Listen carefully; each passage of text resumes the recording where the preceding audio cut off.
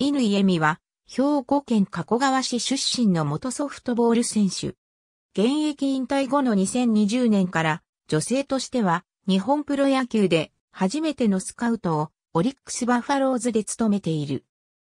ソフトボール選手時代には神戸時和女子高等学校を経てルネサステクノロジー高崎事業所女子ソフトボール部に所属。ルネサスでは首相を務めた。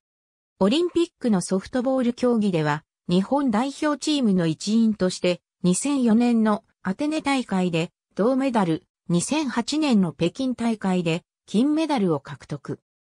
2008年の秋に紫綬褒章を受章したが、翌2009年限りで現役を引退した。2010年からオリックスバファローズが運営する少年野球教室オリックスベースボールアカデミーのコーチに就任。コーチ時代の教え子に小学6年時の木田亮と外野手がいる。2020年1月1日付での人事異動で、球団編成部のアマチュアスカウトに就任。最初に単独で担当した選手は、明石市立明石商業高等学校へ進学していた木田で、この年の NPB ドラフト会議3巡目での指名を経て入団に至っている。AB、オリックス、球界初の女性スカウトは、北京五輪金メダリスト人事異動発表。デイリースポーツ。2019年12月28日閲覧。紫綬褒章の受賞者。共同通信社。47ニュース。http コロンスラッシュスラッシュ www.47news.jp スラッシュ cn スラッシュ200811スラッシュ cn200810100817.html2013 年1月26日閲覧オリックス3位、木田、円環スカウトは6年前コーチ。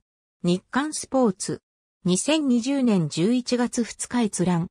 オリックス、球界初の女性スカウト任命へソフト、元日本代表。毎日新聞。2019年12月28日閲覧。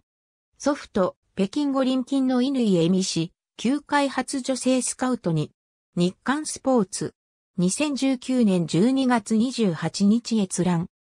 オリックス3位指名の赤石賞、木田亮と外野手は、日本球界初の女性スカウトの犬井恵美スカウトが担当、トリプルスリーも狙える素材。中日スポーツ。2020年11月2日閲覧。オリックス3位赤石賞、木田、トリプルスリー目標。日刊スポーツ。